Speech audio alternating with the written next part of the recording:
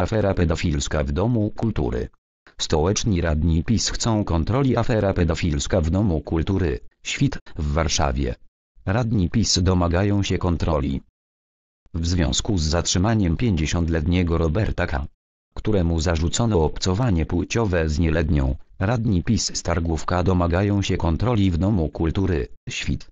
Podejrzany prowadził w nim zajęcia z dziećmi, wioskę archeologii żywej.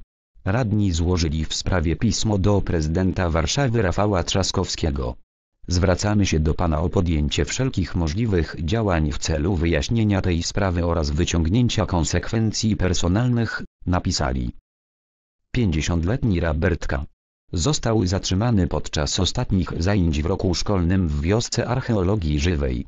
Decyzją sądu pozostanie w areszcie przez co najmniej 3 miesiące. Zarzuty, jakie otrzymał, dotyczyć mają 14-letniej dziewczynki. Jak nieoficjalnie dowiedziała się PAP, dziewczynka opowiadała, że jest z nim w związku miłosnym. Zawiadomienie do prokuratury zostało złożone pod koniec marca.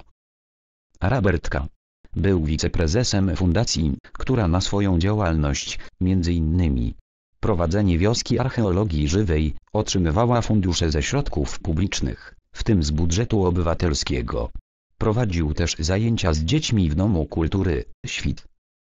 Dom Kultury, Świt. Radni PiS domagają się kontroli w związku z aferą pedofilską radni PiS z Targówka Marta Borczyńska i Cezary Wąsik zarzucają dzielnicowym urzędnikom, że pomimo tego, że wiedzieli jakie ciążą podejrzenia na Robercika, to mężczyzna nadal pracował z dziećmi. Złożyli w tej sprawie pismo do prezydenta Warszawy Rafała Trzaskowskiego, w którym apelują o natychmiastową reakcję w celu wyjaśnienia wszelkich okoliczności i powiązań zatrzymanego pod zarzutem pedofilskim Roberta K. z instytucjami podległymi urzędowi dzielnicy Targówek i miasta stołecznego. Warszawa.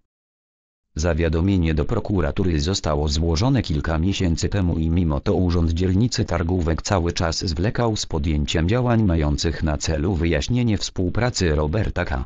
z Domem Kultury Świt, napisali w piśmie do Trzaskowskiego radni. Zaznaczyli też, że współpraca podejrzanego z miejskimi instytucjami mogła naruszać kwestie formalno-prawne, co do finansowania i faworyzowania działań Roberta K. Z uwagi na lokalne koneksje osób zamieszanych w sprawę zwracamy się do Pana o podjęcie wszelkich możliwych działań w celu wyjaśnienia tej sprawy oraz wyciągnięcia konsekwencji personalnych, podkreślili radni. Przypomnieli również, że obecna dyrektor Domu Kultury, Świt, została zatrudniona bez konkursu, na okres 7 lat. W kontekście zaistniałej sytuacji rzuca to negatywne światło na intencje oraz rezultaty podjętej wówczas decyzji napisali radni.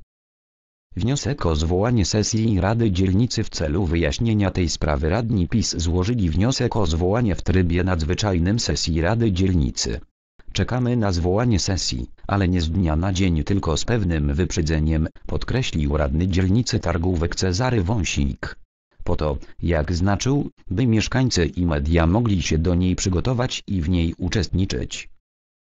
Zaapelowali do radnych Platformy Obywatelskiej, żeby stawili się na sesji.